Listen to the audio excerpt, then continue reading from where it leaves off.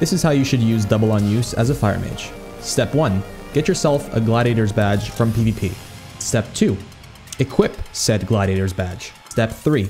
Scrap or disenchant your Leviathan's lure, or whatever trinket you were using. Step 4. Go to a training dummy or pull one out from your toy box. Step 5. Give yourself a 20 second pull timer. Step 6. Cast Font of Power at 18 seconds. Step 7. AFK for the rest of that pull timer. Step 8. At 3 seconds, pre-pot and cast a fireball. Step 9. Fucking blast.